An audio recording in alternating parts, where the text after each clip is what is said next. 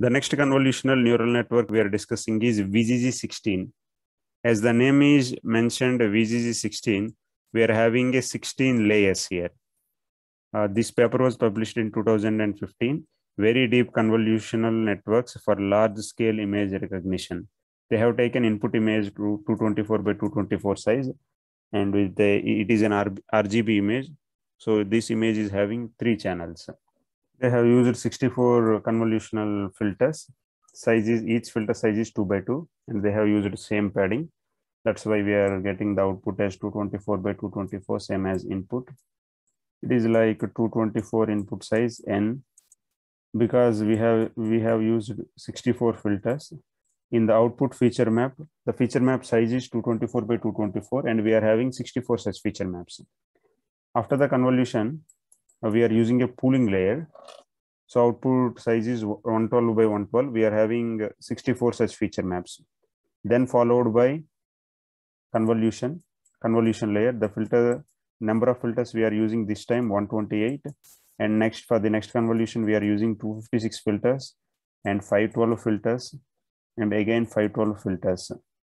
This time the filter size they have changed to 3 by 3 so this is how a convolution operation convolution layer followed by pooling layer convolution layer followed by pooling layer. Like that they have used 16 layers. And finally the final size is 7 by 7 by 512 they have used the flattened layer.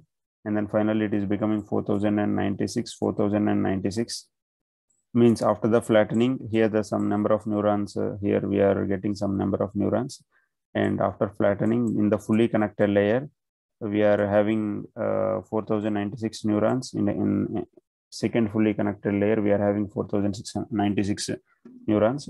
In the final layer we are having 1000 neurons in the output layer which is a softmax layer. In this vgg16 net we have to calculate we have to update 138 million parameters. This number is very large compared to AlexNet.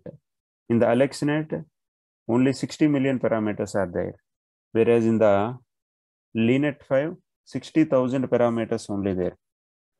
This VGG is, but the advantage is this VGG 16 uh, network looks very simple.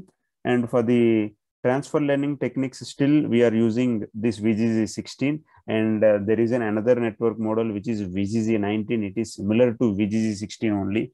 Now people are using with the transfer learning this VGG 16 and VGG 19 means they are not they are freezing the uh, the parameters of the middle layer and they are using the output layer and input layer according to their own application. So the VGG 16 it, the advantage with the VGG 16 is it looks very simple uh, network but uh, the number of parameters are 138 million parameters.